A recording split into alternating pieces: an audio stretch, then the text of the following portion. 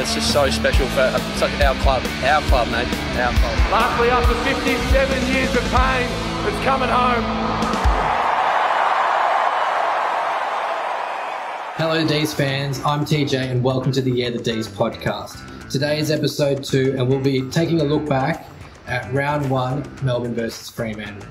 So we're going to have a bit of uh, a, a 2020 hindsight review of the season that was, and uh, moving forward, we're going to be able to see the patterns and what really laid the groundwork down for the D's to win the flag this year.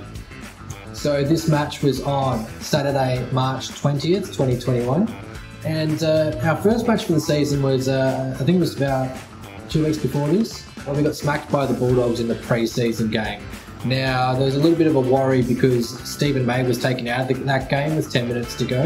We thought he might have had a concussion of some sort, so I was pretty happy to see him in the round one team. And then uh, Jay Lockhart also had that horrific testicle injury that happened. Uh, our big name recruit Ben Brown wasn't able to play because he was still coming off for his injury, as well as Sam Weideman getting injured in the uh, in the pre-season. So, uh, in hindsight, like I was, I remember approaching this game cautiously, thinking, you know, Freo are a bit of an anything side. You're not quite sure what they're going to bring. So anyway, firstly, let's go through the teams and see what the difference is from our grand final team. So there was four differences here.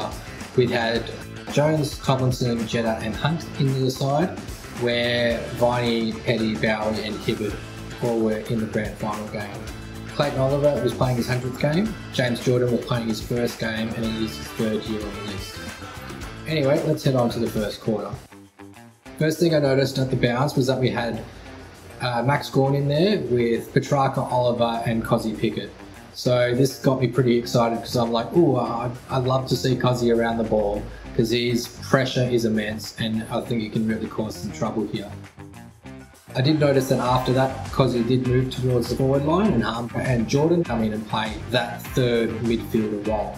After that first bounce, Fyfe moved forward and then Lever picked him up. So it did look like we were trying to play the loose man in defence along with one uh, one person less at the at the contest. So our new defensive system looked really, really good with Lever playing as this uh, loose defender that was picking up Fyfe going forward. But being one person less at the contest, Freo won the first eight clearances and they got in eight inside 50s from that. Now we had four intercept marks from those clearances, and Freo really only had sort of two decent attempts on goal, but they missed both of them. Now early on, both teams weren't making the most of their chances and were really poor with their kicking forward. Both teams ended up kicking three points before Kozzy took, took a great mark and put the first major on the board. Big hanger there for a moment. Now Jones approaching game 300. Back to Spargo. There's Pickett Deliberate approach. Keeps it low. Has he got the legs? He has! And celebrates with the crowd! Straight after that, we happened to get our first centre clearance goal of the year and our second major of the game. Now, it's pretty exciting going back and seeing where we do these sort of similar bursting out of the centres, centre goals that we saw from the grand final.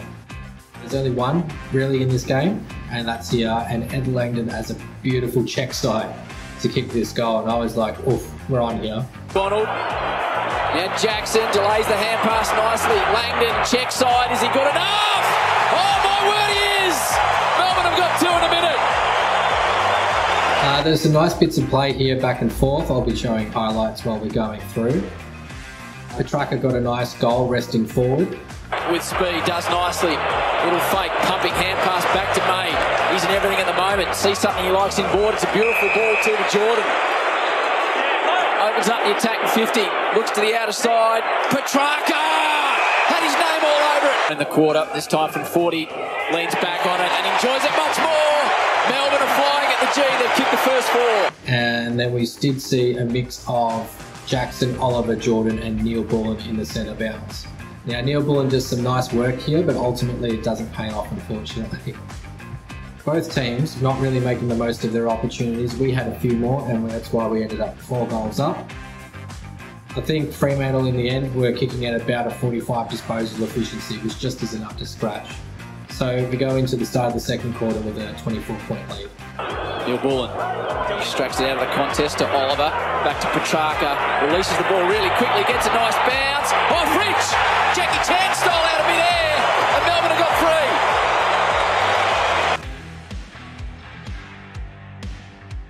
So we start the second quarter with Gawn, Oliver, Petrarca, and Jordon in the centre, and we end up seeing a bit of a rotation through here as well. Tom McDonald uh, doesn't give up on a contest and stops an easy Freo mark. The ball drops to James Jordon, who in his first AFL game kicks his first goal, which is pretty exciting. It was also really awesome to see that he had his jumper presented to him by James McDonald at the start of the game. Um, I thought that was really cool. Spears it, but Hughes should have it covered and doesn't quite in the end. Opens the door once again for Melbourne. Jordon picks it up nicely, slams it towards goal, and he's kicked his first goal in the AFL. So it takes Fremantle up until 6 minutes and 36 seconds into the second quarter after kicking 6 points to finally kick a goal. So the D's kept them goalless for 26 minutes and 36 seconds. At this stage in the game, we had more intercept marks than they had marks. So you can see that we're really thwarting all of their opportunities. And what we will see throughout the year is that I've noticed is that we do have these really good 25 minute periods of keeping teams goalless. In this quarter, we saw some really nice stuff here from Jetta. Uh, there's also something that I really you know, noticed where Nathan Jones does a hospital hand pass to Oliver, where Oliver has to leap too high to take the ball. This is something that Melbourne used to do all the time, and it would shit you up the wall. Glad to see that we did get it out of our game later in the year, but it's just overdoing handballs, putting too much on them, and then all it ends up is in the ball up rather than us moving the ball on. Uh, Lever was at another level. Like he was pretty good during 2020, but really going to another level with his intercepting and reading the play. Neil, there's a some great play with Neil Bull and Smother leading to an inside 50 with Fritsch marks. Fritsch has a shot. I think he has a shot anyway. Slightly off. T Mac reads the ball the best, gets a mark on the on the uh, boundary, and is able to snap through for a goal. It was to the left and it goes that way again. Won't quite make the distance. Right at the back of the pack though. Tommy so far today. The number 25 hooks it round his body. Melbourne have got their sixth and McDonald's got his first for the season. So there's a bit of back and forth. They get another goal. We answer back after putting some pressure on Freo's defenders. They were dealing with a poor inside 50. Uh, the pressure there spills out from Kozzy. Harmes gets on the end of it with Tom McDonald also getting involved. Low ball forward. Bursts out of Meek's hands. It's handling under some pressure. Mundy overruns it. They make a bit of a mess of this Fremantle. Pickett bubbling around the footy. Harmes. McDonald. Canny back to Harmes. Should kick a goal and does. Mistakes from Fremantle and Melbourne pounce. Point where Petrarca throws Fyfe away like a bit of trash, which is always a bit of fun. Uh, some decent effort from Spargo to win a free kick there. Some beautiful efforts from Neville Jetta. Um, I really like how Jake Lever uses his body to win a contest here. The quarter seemed a bit more even than it probably should have been. Freo got two of their three goals from free kicks. Yeah, they're probably there, but like they're not kicking goals from earning it. They're not. It's not from coming from good play. It's coming from our mistakes of being a bit overzealous and giving away free kicks. So at half time, we had 15 intercept marks, which is pretty ridiculous. So we kicked 3 2 to Freo kicking 3 4, making it a two point difference. We lead by 22 points. On to the third quarter. We start with Gawn, Oliver, and Petrarca with Kozzy in the middle again. So this is uh, this, the second time out of a total of four times that he attends centre bounces in this game. You can see that um, they've had a bit of a chat Fremantle at half time and Freo start to lower the eyes, but we still happen to read the play and intercept, which is fantastic. Uh, there's some uh, great play with Pickett making something out of nothing. Unfortunately, Tommy Mack hits the post, but the play leading up to that was great. Some really good efforts there. Gets it out to Brayshaw. Clever little ball. Really good kick. As good as we've seen today. There's some great defensive play here where Jake gets a hand to this somehow, and then May actually opts to bump Fyfe instead of tackling him here. There's a great Spargo tackle that gets a hold of the ball.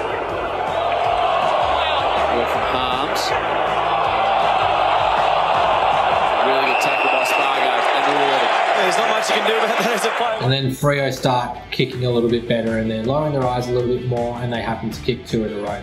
Now it's taken them nine minutes into the third for them to string two goals together and these two goals actually come from some pretty decent, decent play.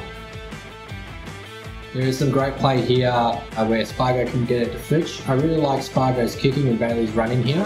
He splits two Freo players to end up in space, which is some really, really smart football. Spargo actually had three goal assists in this game, so three of our goals from the game ended up coming directly from his play and him setting up players. And sneak out the back. Here I go. Here's my opportunity. Can see Bayley ducks out the back. Fremantle defenders got their hands on their uh, on their hips. Jetta had a really nice uh, intercept. Then there's a holding the ball non-call, which definitely should have been holding the ball. And then straight after, bang, holding the ball that's paid. It's amazing how often this happens in our game where, you know, like the umpire just gets something wrong. You know, it was def- definitely there. And then the exact same call going the way of the team happens to pop straight up again.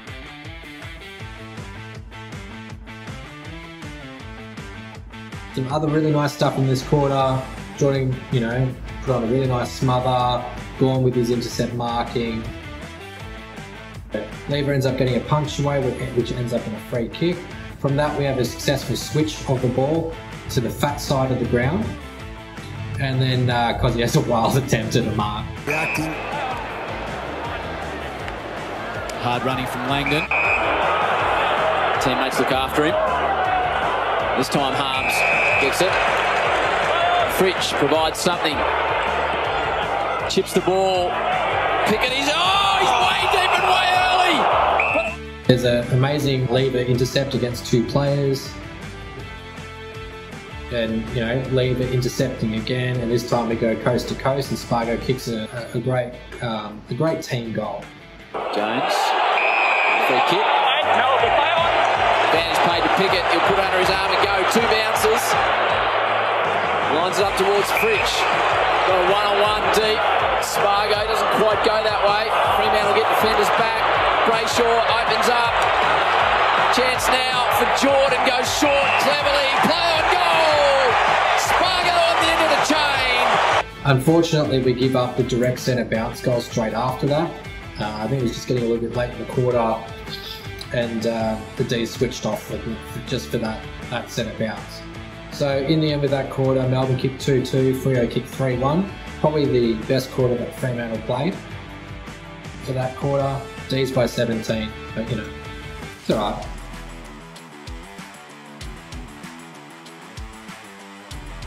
Fourth quarter, uh, so we start with Gawn, Oliver, Petrarca, and Jordon in the centre again. So Jordon's getting some really good good minutes here. So it's a bit of an arm wrestle back and forth, some poor kicking. There's a really nice holding the ball call on Fyfe here. Next play from Jackson is great. There's another intercept from May, another Lever intercept. It's just, I really love watching our defenders play. Um, just incredible stuff. Yeah, another intercept by May, another intercept by Lever, just intercepts, intercepts, intercepts. It's bloody great to watch. It's really enjoyable. It makes me laugh most times. Some really nice stuff from uh, Brayshaw and Oliver. Coz's pressure in this game was elite. You can really see uh, the type of running that he can do and and the effort that he puts in. And this is from a you know from a guy that lost his mum just before the season and uh, spent three weeks away from the club. But you can just see how focused this guy is on performing at the elite level. After nine minutes of back and forth in this quarter, we finally get a goal through Petrarca. It's really great to see Christian taking the most of his opportunities when he's kicking that goal. He has been a little bit hit or miss for his goal kicking, but he definitely gets a hold of that towards the end of the year. Some great pressure continues. Uh, T-Mac gets some, T-Mac gets a great opportunity after a holding the ball call. Yeah, good pressure. You'd like Tom McDonald just to take his 30 seconds. Had a good day. That's Tommy McDonald. 16 disposals, kicked the goal, taking some strong contested marks. To land what would have to be the knockout blow from downtown,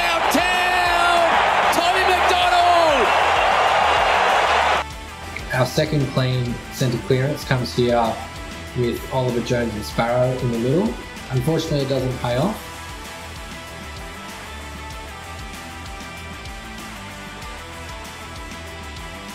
So Langdon with a nice clean pickup sends it over to Brayshaw who misses to the left. Unfortunately, Jackson and Spargo also have uh, goal attempts after this and miss. So we really could have put this one away if we had gotten those, those three goals, but instead the ball goes down the end. And Freo ended up kicking a goal, which Gawn might have touched, but I don't think he did in the end. It, it it's close, but if you can't really see the fingers going back, it's a bit hard to take it off somebody. Great contest, more great contests. Lever just having an absolute day out. More chances not taken, and then Freo kick kick another late goal. So pretty much evening up this quarter. We end up uh, kicking two goals six to two goals one. We end up running out this game 22 point winners. That was the exact same margin at half time and only two points down difference from quarter time. Yeah, we just kind of got a lead and held on to it. There were some really nice things done throughout the game. Yeah, good start. Oliver takes advantage of space provided by Jetta. Three big forwards, and Jackson says, "Get out of my way." Wow, that is exciting. That is. Melbourne supporters, the way he extended up into the air, can play in the rock, but whoa, what about that for a key forward? Yeah, some good stuff here. So, um, some end of the game observations and stats. Return of T-Mac. T-Mac, he just uh, he's back. It was his he played one good game in, I think, 2019 against Carlton, where he kicked five and then didn't play the last quarter because he was injured and didn't play the rest of the year. But other than that, this was a return of the 2018 form. He could, he was fit. He didn't look like he got a boat when trying to turn, turn around and do circles. He could move. He was agile, and he ended up taking nine marks. Most of them contested, which was quite brilliant. Oliver had 34 disposals. He is just an absolute jet in the middle. He had nine scoring Dolphins, which is just, just phenomenal. Steven May had 24 disposals, which is just ridiculous. Jake Lever equaled his inter- previous record of six intercept marks. He ended up having 12 intercept possessions for the game. Now let's just get on to the uh, centre bounce stats because I always find this stuff interesting the centre bounce stats. Now there was 23 centre bounces for the game. Clayton Oliver attended 21 of them. So that was 91% of the centre bounces. Max Gawn was at 20 with Jackson rucking three of them. We would see this change a bit more later in the year. Christian Petrarca attended 16. James Jordon was the next best at 10. James Harmes at 9. And then a bit of a mix between Spargo, Neil Bullen, Kysaiah Pickett, Luke Jackson, and Nathan Jones attended in the last quarter.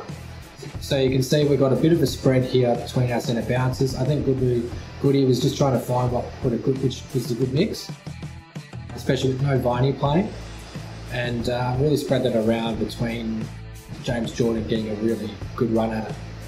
So with our kicking stats, Steven May took six, Christian Salem took two, Jake Lever and Trent Rivers took one each. In all of those occasions, we played on and we played on trying to really kick down the line and get a bit of distance. So I found that was uh, that was pretty interesting.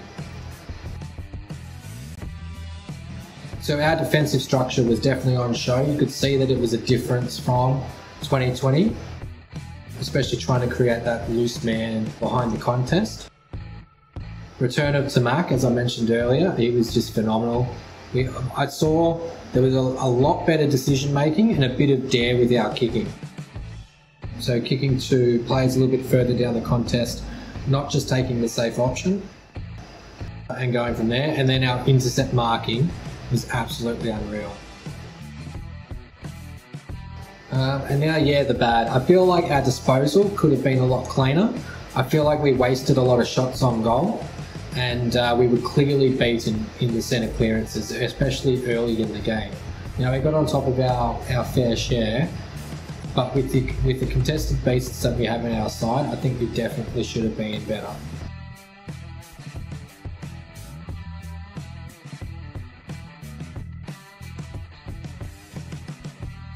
And now on to our best goal segment. Bang, bang, bang, bang. 30 seconds left. Little one from Viney. Surely not another one. Handball to Oliver. Streaming through. Bang! Bang, bang, bang! My third favourite goal from the game was Charlie Spargo's goal in the third quarter. Pickett, he'll put under his arm and go. Two bounces. Lines it up towards Fritsch. Got a one-on-one deep. Spargo doesn't quite go that way. Fremantle get defenders back. Brayshaw opens up. Chance now for Jordon. Goes short cleverly. Play on goal. Spargo on the end of the chain. My second favourite goal was Bayley Fritsch's judo kick or karate kick goal with uh, six minutes left in the first quarter. With towing it over the line, It's great power by Petrarca too, wasn't it? Let's have a look at you just see, you see the quick hands with Oliver there. And we saw it last night with the Western Bulldogs. The Western Bulldogs' ability to, to uh, embrace the And then my favourite goal for the game was Ed Langdon's check side in the first quarter. I just thought that was an absolute brilliant kick. To Oliver in game 100. Harmes with the driving ball back towards McDonald. Now Jackson delays the hand pass nicely. Langdon check side. Is he good enough? Oh my word, he is! Melbourne have got two in a minute. Now, for this game, we had the Coaches Association put their votes out. Steven May got the full 10 from the two coaches, which is pretty pretty awesome. He did have, he, I thought he was best on the ground as well. Clayton Oliver collected seven, Jake Lever collected seven, Tom McDonald with four, and Andrew Brayshaw with two. In the Brownlow votes, uh, Clayton Oliver picked up three, Tom McDonald picked up two, and Steven May picked up one.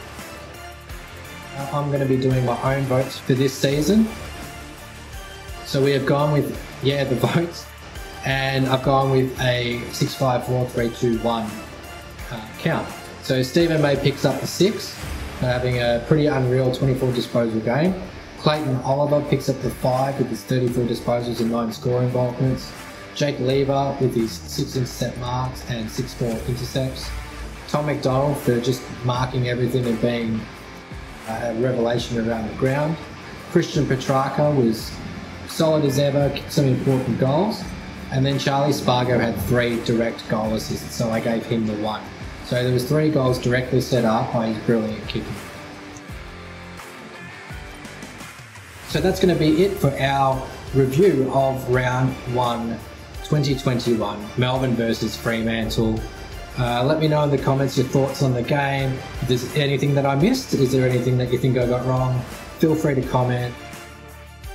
So this is available on YouTube with the videos, and then also on Spotify, Apple Podcasts, and then I have set up a Facebook, Twitter, and Instagram. So please uh, give us a follow, give us a like, share, uh, subscribe. We'd really love to get this channel up to a thousand subscribers, and uh, just yeah, sharing the love of the D's. So I hope you've enjoyed, and more content to come. I'm going to be putting out uh, my own top 50 players for 2021. I saw Robbo's list and went, I think I can do it better. So that will be out later in the week. And then I will be doing round two, Melbourne versus St Kilda. So until then, have a good time and go D's.